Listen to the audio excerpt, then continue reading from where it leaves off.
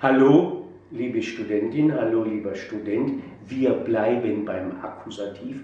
Wir bleiben auch bei dem Verb kennen, nun aber mit Personen. Sie haben gelernt im Nominativ der Mann, die Frau, das Kind und Plural die Männer, die Frauen, die Kinder. So, also Frage, kennen Sie den Mann? Ich kenne, ich kenne den Mann. Kennen Sie die Frau?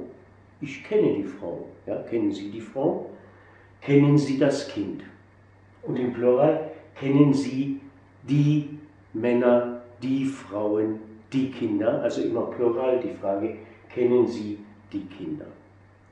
So, Olga, jetzt sind Sie wieder an der Reihe. Die Konjugation des Verbs kennen haben wir ja schon gelernt. Ja? So, jetzt antworten Sie bitte auf meine Fragen. Kennen Sie den Mann? Ja, ich kenne den Mann. Sie kennen den Mann. Kennen Sie die Frau? Ja, ich kenne die Frau. Sie kennen die Frau. Kennen Sie das Kind? Ja, ich kenne das Kind. Sie kennen auch das Kind. Ja? Kennen Sie die Kinder im Haus? Ja, ich kenne die Kinder im Haus. Kennen Sie die Leute im Haus? Ja, ich kenne die Leute im Haus. So, jetzt antworten Sie bitte negativ. Kennen Sie den Mann?